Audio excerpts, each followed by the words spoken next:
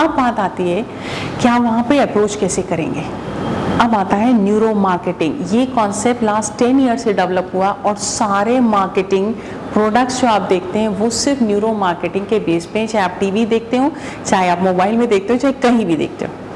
अब ये neuro marketing में मतलब ये कि how to approach the client और न्यूरो मार्केटिंग मतलब उसके ब्रेन में सारी सेंसेस से हर क्वालिटी की इंफॉर्मेशन दे देना। अब बताइए, कितने सेंसेस हैं आपके पास? बोलो। कौन कौन से? आपका जो क्लाइंट है he is a bundle of number one उसके पास है बॉडी उसके पास है इमोशन ठीक है? और उसके पास है लॉजिक आपका जो भी प्रोडक्ट है, इन तीन पैरामीटर में से कम से कम दो पैरामीटर को फुलफिल करना चाहिए। बॉडी मीन्स बॉडी का कोई भी चीज़ हो जो उसको कंफर्ट देता हो। आपके प्रोडक्ट में देखो कि वो क्या उसकी लाइफ में, उसके बॉडी में डिफरेंस क्रिएट करता है, उसको कंफर्टेबल जोन में लाता है। नंबर टू इमोशंस क्रिएट कर पाता है कि नहीं कर पाता? क्योंकि we are not dealing with the logical people we are dealing with the people who are full of emotions यदि उनको इमोशंस आ गए दैट इज़ द एनर्जी वो ड्राइव करेंगे आपको यस बोलने के लिए, आपको प्रोडक्ट लेने के लिए। तो आपका जो प्रोडक्ट है वो इमोशंस ड्राइव कर पाता है कि नहीं कर पाता? You check and third is the decision making power logic says मेरे को फ़ायदा होना चाहिए। यदि मैं ये खरीदूं तो मुझे ऐसा लगना चाहिए कि उससे मुझे सस्ता मिल गया। कहीं ना कहीं मेरा प्रॉफिट है राइट right? और यदि सपोज़ लॉजिक में फिट नहीं भी होता, लेकिन इमोशंस क्रिएट कर देता है और उसको कंफर्टेबल कर देता है तो भी वो प्रोडक्ट लेगा। यदि बॉडी को नहीं भी होता इमोशंस क्रिएट करता है उसकी लॉजिक को फिट करता है कि फ़ायदा होने वाला है तो भी वो प्रोडक्ट लेगा। और सेम चीज़ ऐसे है, अब आपका जो क्लाइंट है, ये पैरामीटर में है। नाउ सी कि अब आपके जो टारगेट है, उस टारगेट को आप कहाँ कहाँ सेटिस्फाई करते हैं। सबसे पहला ध्यान रखना है because you are into the marketing product और dealing with the clients body में क्या क्या होता है बताओ। How many senses you have बोलो। एक। टच राइट ना?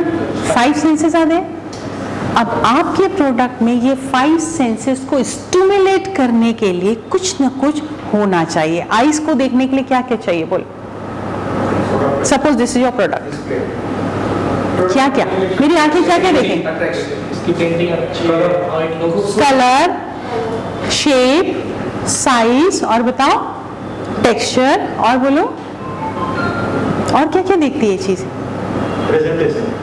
परफेक्ट इसका फॉन्ट साइज़ कैसा है? पर प्रॉपर रीड कर पा रहा हूँ, बहुत मुश्किल हो रहा है। बराबर? तो जब तक मेरी आँखें मुझे स्टिमुलेट नहीं करेंगी ब्रेन में जैसे जितने ज़्यादा न्यूरॉन्स फायर होते हैं ब्रेन में वायरिंग होती है टू से यस इसलिए मेरे प्रोडक्ट में वो सारी चीज़ें होनी चाहिए कि आई से वो स्टिमुलेट करे इसके साथ यदि कोई जिंगल बेल यदि उसके साथ एसोसिएटेड है, या मैं जिस स्टोर में लेने जा रहा हूँ, वहाँ पे बहुत सूदिंग बहुत परफेक्ट म्यूज़िक चल रही है मैचिंग टू द प्रोडक्ट ये म्यूज़िक मेरे ब्रेन के उस एरिया को स्टिमुलेट करेगा, क्योंकि मैं ऑडिटरी क्लाइंट हूँ। मुझे सुन के समझ में आता है। ठीक है, जब आप डिस्क्राइब करते हैं अपने प्रोडक्ट के बारे में कि सर आप इसको लेंगे तो इसकी इंक कितने समय चलती है, ऐसा ऐसा होता है और वो यू विल सी या लोगों को देखेंगे, इतना क्लैरिटी होती है उसमें। आप मैं जो जो बोल रही हूँ, यदि मेरा क्लाइंट ऑडिटर है वो फटाफट पिक्चराइज करना शुरू कर देगा। और यदि आप इसको यूज़ करेंगे तो you can not imagine sir कि you will get a lot of appreciation because of your presentation लेकिन प्रेजेंटेशन में एक इंपॉर्टेंट पार्ट ये है। अब देखो, मैंने प्रोडक्ट के बारे में बोला, लेकिन उसमें मैंने क्लाइंट को भी एंटर किया। आपको नहीं पता, आप जो जो बोलते हैं क्लाइंट उसको इमेजिन करना शुरू करता है। और किसी भी प्रोडक्ट के डिस्क्रिप्शन में यदि आपने क्लाइंट की एंट्री नहीं कराई सपोज़ कार कार को आपको सेल करना है। डिस्क्रिप्शन दिया, लेकिन डिस्क्रिप्शन देते देते आपने ये नहीं बताया कि, सर, एक बार आप कार में बैठेंगे यू कैन नॉट बिलीव कि ऐसा लगेगा आपकी कार बिल्कुल आपके लिए है and people will start talking about you you see you will have such a good status अब आपने बोला he will start visualising the things अब वो इतना प्राउड फील करेगा, आपको पता ही नहीं चलेगा, उसके ब्रेन के उस पार्ट को आपने ट्रिगर कर दिया है।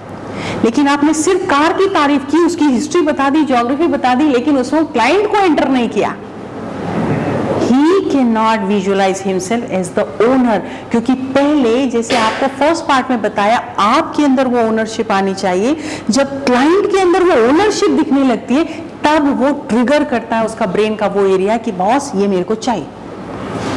You are creating the need इसलिए डिस्क्रिप्शन में आपको ध्यान रखना है। तो ऑडिटरी हुआ तो आपकी डिस्क्रिप्शन कैसे होनी चाहिए? Verbal creating the imagination any product छोटा हो, सुई से लेके कार तक और घर तक. विजुअल हुआ तो कलर कैसा साइज़ शेप आपको अपने कस्टमर को क्लाइंट को पहचानना बहुत ज़रूरी है, क्योंकि जैसा वो बोलता है और आपके ईमेल में, आपके फ़ोन कॉल्स में, वो कहीं ना कहीं लिंक भेजेगा कि मैं किस टाइप का हूँ. कैसा होगा? सपोज़ वो विजुअल है. Let me see right I come and see then will decide you pick the word वो जब बार बार देखने देखने देखने वाली बात करेगा मतलब वो विजुअल है, इसलिए मतलब जब उसकी मीटिंग डील होती है तो आपके विजुअल्स बहुत क्लियर होना चाहिए। स्माइलिंग फेस से पिक्चर्स ऐसे होने चाहिए प्रोडक्ट की पिक्चर लगी है, और उसमें आपका साइन ऐसे होना चाहिए। Right right? क्योंकि वो पिक्चर से प्रभावित हो जाता है, वो कलर से प्रभावित होता है, आपकी ड्रेसिंग से प्रभावित हो जाएगा, आप किस तरह की वॉच पहने, किस तरह के शूज़ पहने, उससे वो इम्पैक्ट हो जाएगा एंड फिर वो आपसे इन्फ्लुएंस होकर उस टर्म पे बात करेगा। यदि ऑडिटरी है तो? हाँ? आप फ़ोन पे बोलेगा, आप फ़ोन पे बता दो मुझे सारी चीज़ें। अच्छा ऐसा करो कि आप ऑडियो वाला कुछ भेज दो मेरे पास। इज़ ऑडिटरी वन मतलब जब उस क्लाइंट को डील करना है तो किस इंसान को छोड़ोगे जिसका communication skill is too good क्योंकि वो बात से ही उसको पकड़ सकता है। क्योंकि जब ये बात करता है तो वो उसको इमेजिन करना शुरू कर देता है विजुलाइज करता है और वो उस प्रोडक्ट का ओनर बन जाता है। उसको पोजिस करना शुरू कर देता है और उसके बाद आप उसको कनेक्ट करो कन्वे करो कन्विंस कर दो राइट अब ऑल फैक्ट्री वाला हुआ तो आपके ऑफ़िस में एरोमा होना चाहिए। क्योंकि ये सारी, ये याद रखना इट्स अ फ्रेज जब सारे न्यूरॉन्स फायर होंगे तो ऑटोमेटिकली ब्रेन वायर हो जाएगा। और जब ब्रेन की वायरिंग हो जाती है मतलब कस्टमर बिल्कुल रेडी है, अब आप जो बोलो उसके लिए। तो आपके ऑफ़िस में ऐसी फ्रेग्रेंस चलना चाहिए, जो बहुत सूदिंग बहुत बढ़िया हो। राइट अब क्या होना चाहिए उसके बाद? और नेक्स्ट सेंस कौन सा है? टच टच मीन्स फील आपके ऑफ़िस का सिटिंग का अरेंजमेंट सारी चीज़ें आपकी chair that should give that feel comfort उसको बहुत प्राउड फील करना चाहिए, उसको बहुत इंपॉर्टेंस यदि फील हो गई मतलब समझ लो कि वो आपका बहुत परफेक्ट पोटेंशियल क्लाइंट है। राइट सो so, अब यदि ये सारी चीज़ों को आपके एड में आपके ऑफ़िस में आपके प्रोडक्ट में यदि इन्वॉल्व करोगे तो बताओ कि आप वहाँ तक अप्रोच कर पाओगे। This is called neuro marketing right right? कि उसके सारे न्यूरॉन्स को ट्रिगर कर दो और फिर। अब यदि उसको सारे ट्रिगर किया आपने अपने नेट पे कर लिया सोशल वे, उसमें वेबसाइट में कर लिया सब चीज़ में कर लिया। मेल में भी बात हो गई अब वो क्लाइंट आपको सर्च करता हुआ आपके पास आ गया। अब जब सर्च करता हुआ आ गया तो अब बताओ कि आपका प्रेजेंटेशन कैसा होना चाहिए? कैसा होना चाहिए? क्या क्या होना चाहिए? सपोज़ वो एंटर करता है। यहाँ पर क्या क्या चीज़ें होनी चाहिए? वेरी वॉर्म वेलकम वेलकम कौन करेगा? ऑफ़िस में सुंदर सुंदर लड़कियाँ क्यों रखी जाती हैं? क्यों रखी जाती है? इट्स वेरी साइंटिफिक रीजन ना दैट इज़ आपने निकाल दिया। नहीं नहीं। ज़रूरी नहीं, सुंदर लड़के हैंडसम लड़के भी हो। नहीं that is giving the compelling desire to get inside and get the warmth इसलिए रिसेप्शन पे अच्छी लड़कियाँ बैठाई जाती हैं। इसलिए बैठाई जाती है जिनका कम्युनिकेशन स्किल्स टू गुड जिसके अंदर वार्मथ है, जिसके अंदर पैशन है, जिसका एनर्जी लेवल हाई है एंड वो is very very happy go lucky girl और बॉय आप किसी भी डल बंदे को खड़ूस बंदे को बैठा दो, आपकी आपकी सेल पूरी गई काम से।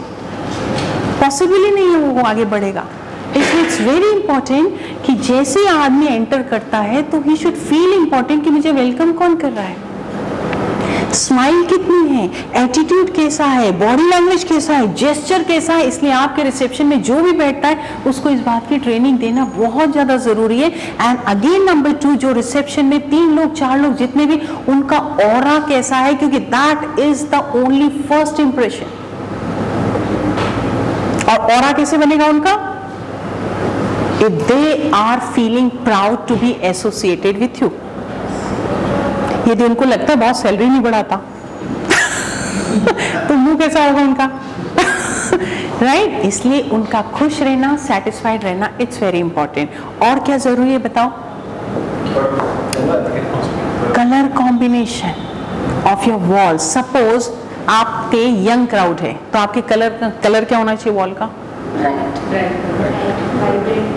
येलो ये सारे ब्रेन में फायर हो जाते हैं कलर देख के साथ। यदि येलो कलर है means the young crowd and full of energy full of power full of positivity वो जैसे येलो में आते हैं ब्रेन का वो एरिया फायर हो जाता है। राइट? अब नंबर टू सपोज़ रेड है। रेड किसके लिए चाहिए? हाँ?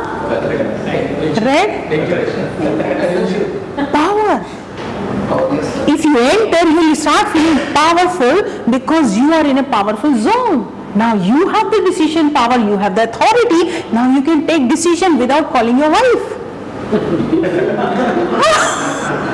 No support system तुम ले सकते हो ये ऑटोमेटिकली इसको बोलते हैं न्यूरो मार्केटिंग इसलिए आपके प्रोडक्ट के कलर डिसाइड होते हैं आपके रूम के कलर डिसाइड होते हैं इसलिए याद रखो कि जब भी यूएस का प्रेसिडेंट इंपॉर्टेंट मीटिंग में जाएगा तो या तो वो रेड टाई पहनेगा या रेड उसका हैंकी यहाँ पर लगा होगा। What is called red red means power red means energy